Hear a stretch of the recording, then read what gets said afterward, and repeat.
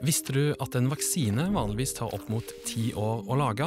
Akkurat nå jobber forskere over hele verden det de kan for å få godkjent koronavaksiner. Selve vaksinen er faktisk ferdig, så nå gjenstår ett til halvannet år med testing og godkjenning.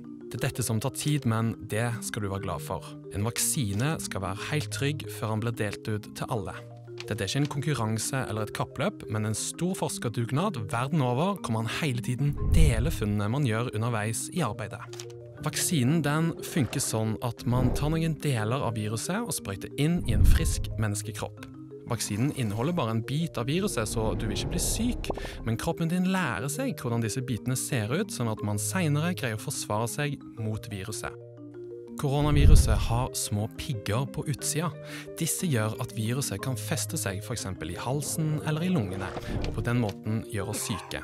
Derfor prøver man nå å lage vaksiner som blokkerer disse piggene, eller setter de ut av spill. Og for å få til dette må forskerne gjennom fire ting.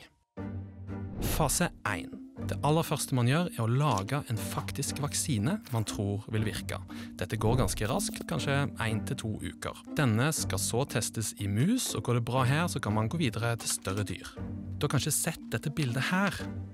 Det man nå gjør, er å sette i gang studier i mennesker uten at det er gjort mye sikkerhetstesting i dyr, som det man vanligvis gjør på dette tidspunktet. Dette for det skal gå raskere. Da tester man omtrent 20-50 friske personer som får vaksinen, og følger disse opp for å se om de får bivirkninger.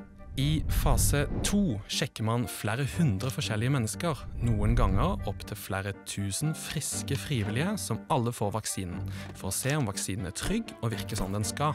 I fase tre begynner man for alvor å se på effekten. Går alt bra her, kan man søke myndighetene om tillatelse til å faktisk bruke denne vaksinen. Siste fase, der sjekker man om vaksinen er trygg og god for såkalte risikogrupper.